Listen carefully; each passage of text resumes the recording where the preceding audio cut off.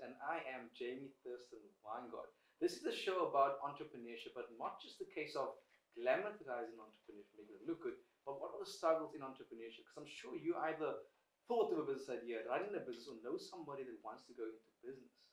And today we have an amazing guest in studio. This is Imtiyaaz Hart. Hi, Jamie. Oh, yes, and Imtiyaaz has been doing the most when it comes to food, when it comes to cooking, when it comes to being successful. So I want to get through to his journey and for him to share his journey with us. Nice. Let me get some.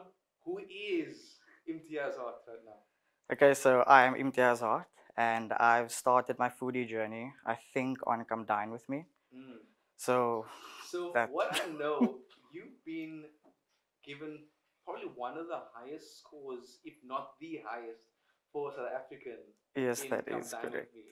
And that I think is amazing. For those that don't know what Come Dine With Me is, it's a show where people get together, um, different groups of, I would say, home cooks Four or people. entertainers, and you have guests come through to. I'm sorry, I'm advertising another show here, but that's also another business. But for you to go onto TV to invite people into your home and then cook for them, Yes. and then be told that you are one of the best at doing this in South Africa is quite an achievement. From there, I know that you've been doing some more things around food, and you've been on Yeah. feature on more shows. So that was my break into the foodie industry basically. Like I've always had a passion for food, mm-hmm. like that genuine love for food and entertaining. So obviously Come With was the next best thing to do. With that, I discovered that I'm actually really good at this and maybe I should pursue more of these TV shows. Mm-hmm. I was doing this while I was employed though. So I was, Yeah, that is kind of a, a juggle. Yeah. Because you were actually having a full time job, I had a full-time job right? And you're working in media, and I was working in media. which oh, the media thing fits, the media thing fits together and shows that. But having a full time job, but then running on to a different direction because your full time job wasn't and hasn't got anything to do, No, se, with food. absolutely nothing. So this was a case of having a job but chasing your dream. Completely. So from, from being this amazing successful income dynamic, what other shows and, and accolades do you have? So since Come Dine With Me, I became a finalist on the Taste Master South Africa. okay, I went on last year to Onset, which is a Afrikaans cooking show. nice. And I've basically just appeared a few times on Afternoon Express for like a few recipes and things like that. So it was it was that that propelled me into the food industry. Mhm. And then while having a, a full-time job and a part-time job as a bartender. Wait, so you had three jobs. Well, two jobs basically. Two basically. jobs and a, and a side. And a side hustle as well, like the bartending. And what was the reason for the, the multiple jobs out of intersect? Was It's just starting out. I was an intern when I started at Media 24, and the bartending helped with, you know, income because it's a hustle out you've, there. You've been that hustler. I've you've been that hustler. You've been had that entrepreneurship mindset from the start. All the time. Okay. I always feel like if you really want something, and I like the finer things in life, as we all do, I work for it. Like I've been told that if you want something nice, you go out and you work for it, and you appreciate it more as well. That's, that's a lot of So I've always, I've always had that mentality. That of if you want to go get it, because the, the only person that's stopping you really is Is you. Yeah, but uh, this this whole thing. So in your job itself, you start you said you started off as an intern. Yes, so I started off as an intern, and then I got the permanent position. Mhm. Continued with the bar as well, because I was like, well, if I could do it as an intern, I can surely do it less hours as a full-time employee. It never really conflicted with one another. It actually worked out perfectly for me. Nice. I still had time to have a social life, which some people found like really odd. Like, how do they have one job and not have a social life? How are you juggling? Some, yeah, some people just have their nine to five. Yeah. they can't cope with social life. You here running nine to five job, getting promoted in your nine to five job, Yes. you're doing a good job there. You're still doing your side job of working in the boss. And, And how's then- that? So you see, you lowered your hours when you were doing. when I started doing Media 24, Yeah. yeah. But I can definitely see how you still got all the skills from being in the bar, and that can also tie into your food passion. It did actually. So it started with mixology, and I really, really love cocktails. Mm-hmm. So I played around with that, and on my social media feeds, people like really wanted more and more, and that's when I played around with recipe development a bit. So I made my own recipes, did some fusions, and I found that this is actually something that I quite like.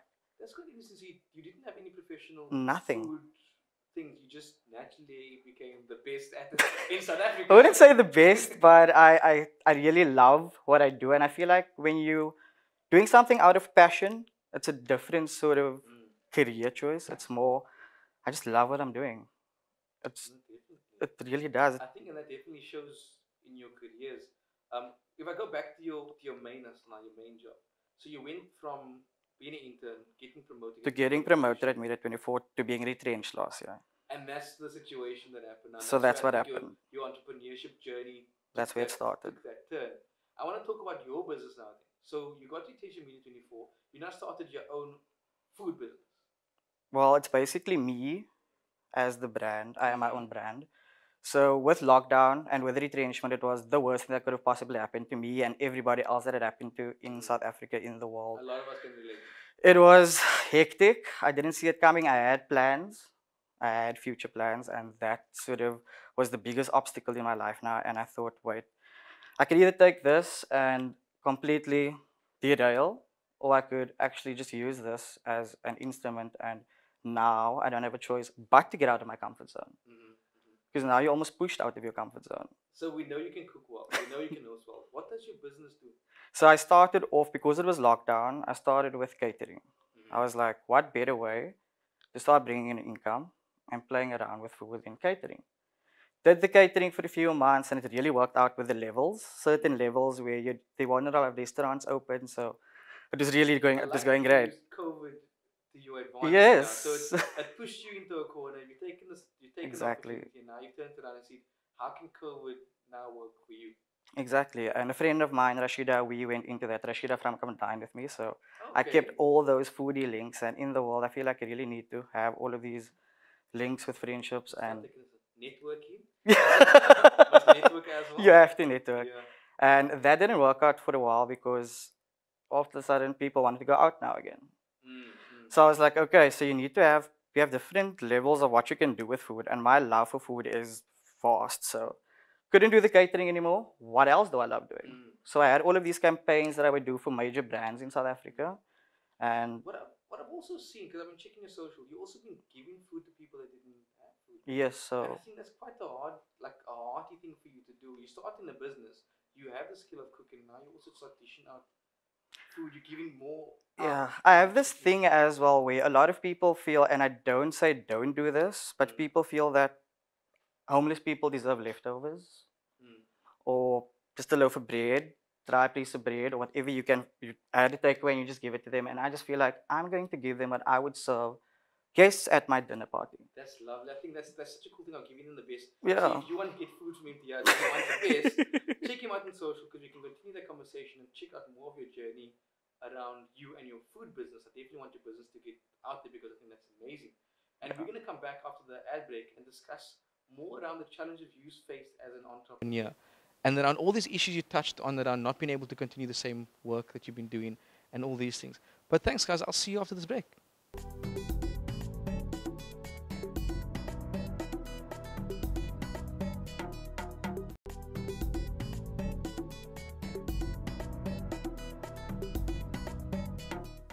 See you again on Being the Business. I am Jamie Thurston Wyngaard, and we've been having a amazing discussion with Imtiyaaz Hart, who worked in corporate and then went through to follow his passion, which is food, and been in this food business. Um, I don't even know the name of your. What is the name of your business, Imtiyaaz? Okay, so I started a Facebook page and an Instagram page called I Heart Life. My name being Imtiyaaz Hart, I Heart Life. Thought I was gonna play around with lifestyle, inspire, food, entertainment. So I left that as just like an option when I started it out last year.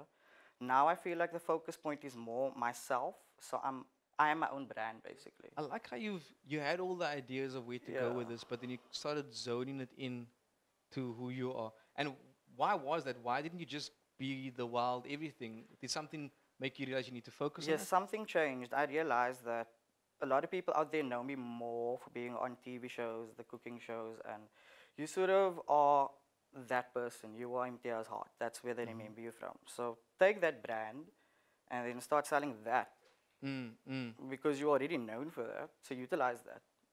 And Oh, then nice. pull people in through that. And that's what I started doing and started getting campaigns and I started doing recipe and content development for a few brands. Oh, nice. And That's cool. that's when I realized you can do this Mhm. all year round, lockdown restrictions, anything aside. Like all I have to do is just have my kitchen, yeah.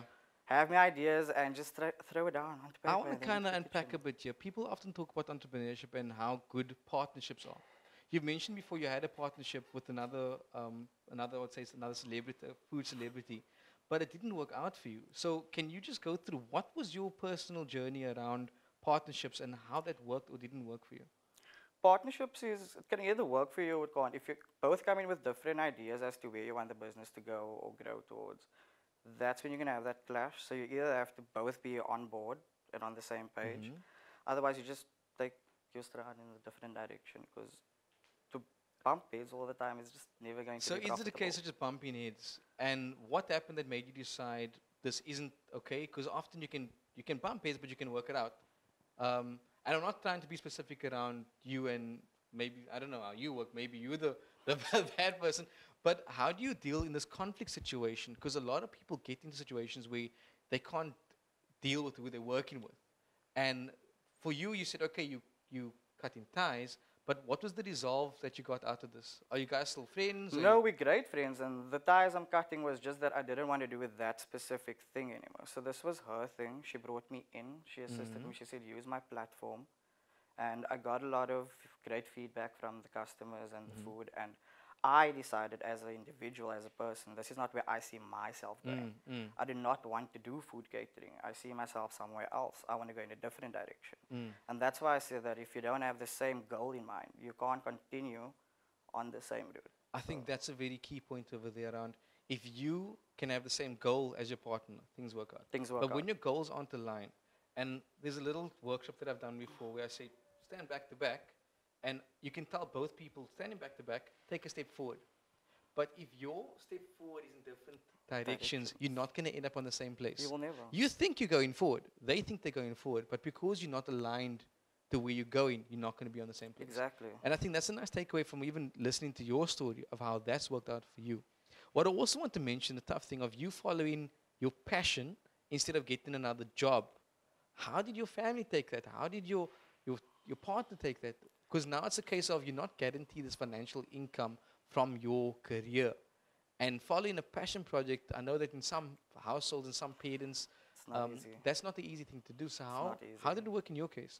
So I'm fortunate and blessed with the fact that I've been retrenched. So number one, when you retrench, you get a package. Mm. But I took that package and I put it away for a rainy day, basically, and I took it from scratch. So everything that I did in the lockdown, with the catering and with the content development for the different brands, I used all of that money and I kept it aside. So now you can't go spending as much as Mm. you used to.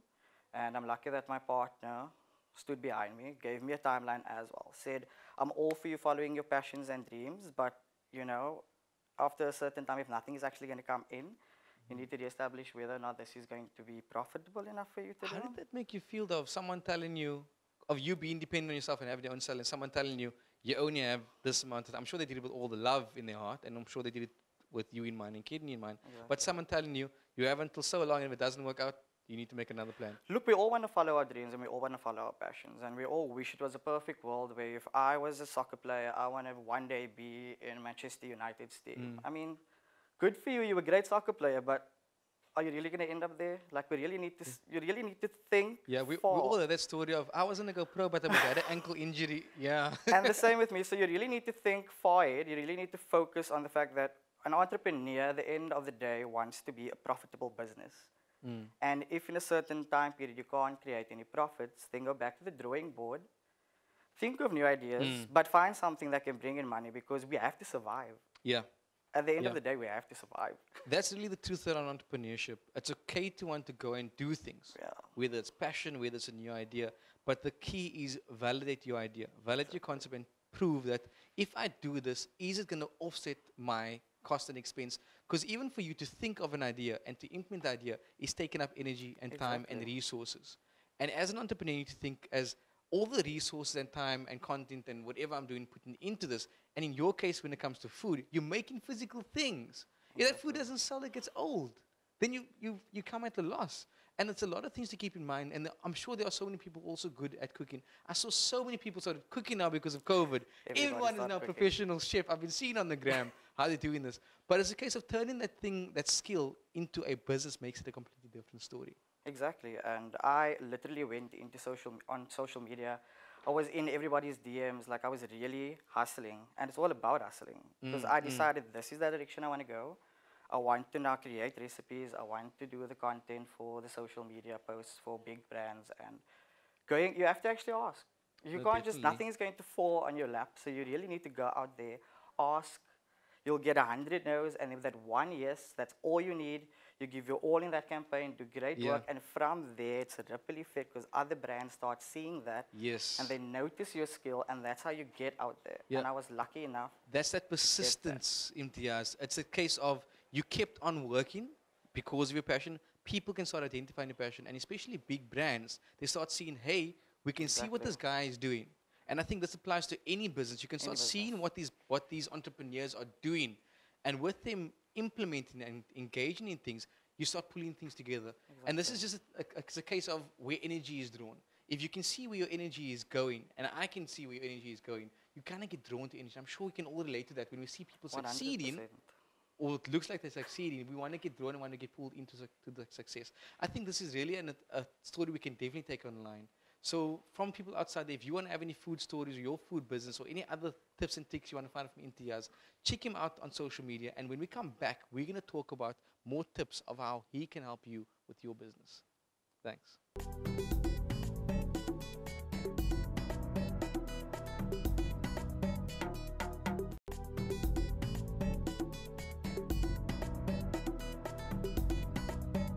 Welcome back to Being the Business. I am Jamie Thurston and we're sitting with Imtiyaaz Hart, who's been doing the most around food. He's been from from the beginning to end, it's about following passion. And we've been discussing how you can do your 95, your 9 to 5, and things can happen where you lose your 9 to 5. And then it's about making a decision of do you just get another job or do you follow your passion? And in Imtiyaaz's case, you've been telling us more about all the support you've been having and the networks that you built. And I want to discuss more about how you were able to solve these things and how you see the success of your business. Because you could have given up a long time ago. You told us how you were given a timeline. And I'm sure in that space you could have seen what works and what doesn't work. And yes, we've seen you say how you've even pivoted within your journey of saying, okay, I'm doing catering. Catering worked for a certain time. And then Uncle Cyril said, oh, things are open, things are closed. And you kept shifting your business. That I think is a nice key point around this. And I want to discuss how do you know when to make that decision? When do you know when to pivot? When to change your business direction? I think you start realizing when profits are starting to go down immediately. Mm-hmm. That's the first thing. You, you always like do okay, I'm very OCD with a lot of things. So when I did the catering, I had this Excel spreadsheets of everything, and I could see that, and I have this thing in mind that the business should grow every week. So Mm. even if it's just by one percent, it's growth. And if you start seeing it going down in that direction, you have to start making other plans. Are we going to sell different things? Are we going to change the food? Are we going to change the marketing strategy? Are we going to change our clients? Look, I went through everything, and you Yeah. have to do all of these things, and you have to go through everything and analyze it in depth before you make the final decision of just dropping it. What did you do before you did food? Because this doesn't sound like a, a conventional skill that any entrepreneur has. And was this something you did in your in It's your just leading work? up, like when I wanted to venture into food and become my own boss. Mm-hmm. I read up on a lot of articles. Because that's that's really an entrepreneurship empowerment. You just have yeah. to like educate yourself. You're going into a field where you basically are unaware of what's going to happen. So empower yourself by getting knowledge within no, that. come field. come serve. Where did you what did you Google? Because just for you to be able to put that implementation plan together of knowing Yeah. I know I'm making money, I'm able to watch my business grow, and then also be able to make the decision of okay, is it gonna go up? Is it gonna go down? And by when it goes down, what do I do now? Do you then look at what's making my business go down? And in your case, there were a lot of external factors. But I think just the practice of monitoring your business is something that other entrepreneurs should take. Because if you're not checking and keeping a tab and keeping your finger on the You won't know pulse, where you're going. you won't know where you're going. That's the important thing. You need to see where you're going because I always want growth and I wanted to grow into a successful business one day, obviously. No, definitely. Where I am now, I have a few, like everybody has goals set in their specific field. Mine is to bring out the cookbook now, so that's the next thing. I'm Nice. implementing that. It's definitely going to happen. I'm just gonna choose which recipes I going want to to talk about this thing of goals. Everyone says, "Oh, we got goals. We're setting goals." So you know you've got your business now, which is your main baby. You're saying you got these goals. How are you managing to take your steps into these goals? And with the goals, how how tangible or far fetched do you feel like you're making these goals? So you got to make it tangible. You can't go far fetched. I can't say, okay, I'm opening a restaurant at the end of this year. It's not Which, going to. which some people say, which I would not say. because I do not believe in these fantasy dreams. I Mm, believe mm. in dreams that I can actually make a reality. And I know that you need capital for things like that, so I have a plan for a restaurant. I have a savings plan in that, and that will be at the age of 40 years old when it Sure. matures. So th- there is So another plans. 30 years for you. Another 10 years for me. the restaurant is definitely opening in 10 years. Without a doubt, that is happening. I have saved up for that, so that's happening. Prior to that, I've decided that this year I want a cookbook out, and then in another five years, I want to follow up cookbook. Okay. I'm also going to Capsicum Culinary School. So you've now enrolled. I haven't enrolled. I actually You won the enroll. competition. Oh yes. So okay. I won a one-year bursary. So it was a competition that they were thing, and I won. So Quite that deserving. is a step in the right direction. It's going to give me the techniques and the skills that I need to write the cookbook, and then Mm-hmm. eventually man my own restaurant one day. So we've got to always, like I said, empower yourself. And Mhm. get I like this. I like how you set out your goals where you know these are long-term goals, but it's not just a case of, like you're saying, you're so realistic about it that you've also learned of what do I need to be able to achieve the goal. I know that for me to write this cookbook, I need to actually have the technique. So now you've got your technique in place. There's a there's a thing that I also do around this concept of setting out goals, and the main thing is setting out your time. How do I set out time towards working towards these goals? There's a a 20, 10, and 70% way of our workout time. 70% of your time you spend on what, what I hold and what I advise people is you spend on where your money is coming from right now. This is your main goals. 70% of your time goes here. Yeah. 20% of your time you go according to a midterm goal, like in your case, your cookbook. 10% of your time you go according to working towards a long-term goal, like your restaurant, for instance. And as you you move through the times, when you start making more money in your next, so you're running all these things simultaneously. You're making 70% of your money, you're making 100% money in 70% time. But once you start making money in 20%, and that amount of money starts equating in the 70%, you start shifting. You start upgrading. You're now saying, okay, now my cookbook is out. Now my restaurant is going to be taking 20% of my time, and I can make another long-term goal. And by what I've learned is by partitioning these things in this way, you just keep growing. Your money starts increasing, and with that finger on the pulse, you can see how things are moving up and down. Definitely. So I definitely see how things all come together when you can put this plan together. And that's a big thing entrepreneurs need to know is plan. And we've heard this before. If you fail to plan, you plan to fail. Prior proper planning prevents poor performance. Oh yes, my tongue is really twisted. I just hear poppers, poppers, poppers, food, food, food. Give me that chili poppers. But what I want to what I want to touch on now, Imtiyaaz, is if you could go back in time, or if you could speak to your younger self, what kind of entrepreneurship advice would you give to Imtiyaaz? Well, I would just tell myself to push, follow your passion, allow yourself to let the universe take you to where you need to be. Because everything that happened in my life happened for a reason. I wouldn't change anything. I wouldn't want my younger self to change anything. I feel like I am the way I am today because of everything I went through. Mm, mm. No, that's quite powerful words, and that's that's also a case of acceptance, where a lot of people feel like, I don't want this life, I don't deserve this. What's what's going on with me? But when you turn it around and see how you've accepted this, you start seeing also the value in this. So I like how you've taken your journey, and I think this can also all go online. There's more conversation. There's more food. If I'm sure you, there's even I know your recipes are out there. So if you want to get that recipes, if you want to get that food tips, if you want to get even come buy some food from Imtiyaaz, who's the, literally I would say one of the best cooks in South Africa, one of the best chefs in South Africa. Get him on, on social media. You can also continue the discussion with us online. And this is Being in the Business with Jamie Thurston Wyngaard. I'll see you next week. Thank you.